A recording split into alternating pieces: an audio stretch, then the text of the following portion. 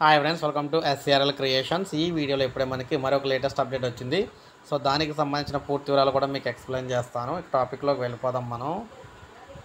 రాష్ట్రంలో ఈరోజు బంద్.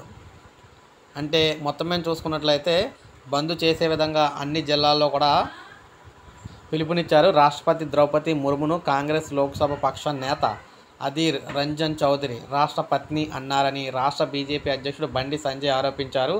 ఎస్టీ మహిళ రాష్ట్రపతి పీఠం ఎక్కడాన్ని కాంగ్రెస్ జీర్ణించుకోలేకపోతుందని ఆగ్రహం వ్యక్తం చేశారు.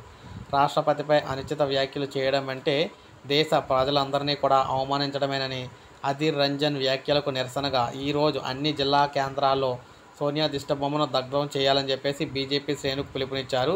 అధీర్ వ్యాఖ్యలపై సోనియా క్షమాపణ చెప్పాలని డిమాండ్ చేశారు.